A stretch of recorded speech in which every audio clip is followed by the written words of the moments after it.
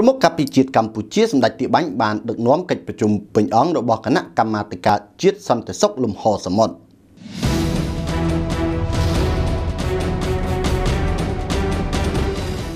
សម្ដេចទាបាញ់ឧបនាយករដ្ឋមន្ត្រីរដ្ឋមន្ត្រីក្រសួងការពិជាតិនាថ្ងៃទី16ខែវិច្ឆិកាឆ្នាំ2021នេះបានដឹកនាំប្រជុំពេញអង្គរបស់គណៈកម្មាធិការជាតិសន្តិសុខលំហសមុទ្រដើម្បីពិភាក្សាលទ្ធផលការងារសម្រាប់បានប្រចាំឆ្នាំ2020-2021តាមប្រព័ន្ធវីដេអូ Zoom ។ ផ្អែកតាមរបាយការណ៍របស់អគ្គលេខាធិការដ្ឋាននៃគណៈកម្មាធិការជាតិសន្តិសុខលំហសមុទ្របានបង្ហាញថាក្នុងរយៈពេល2ឆ្នាំកន្លងមកនេះទោះបីជាមានការរីករាលដាលនៃជំងឺ Covid-19 ជាសកលយ៉ាងណាក្តីក៏ប៉ុន្តែអគ្គលេខាធិការដ្ឋាននៅតែធានានិរន្តរភាពការងារដែលរាជរដ្ឋាភិបាលប្រកួតជូនសម្រាប់លទ្ធផលគួរឲ្យកត់សម្គាល់និងជាទីមោទនៈតាមរយៈប្រជុំទំនាក់ទំនងការងារតាមប្រព័ន្ធវីដេអូ Zoom មានន័យថា Covid-19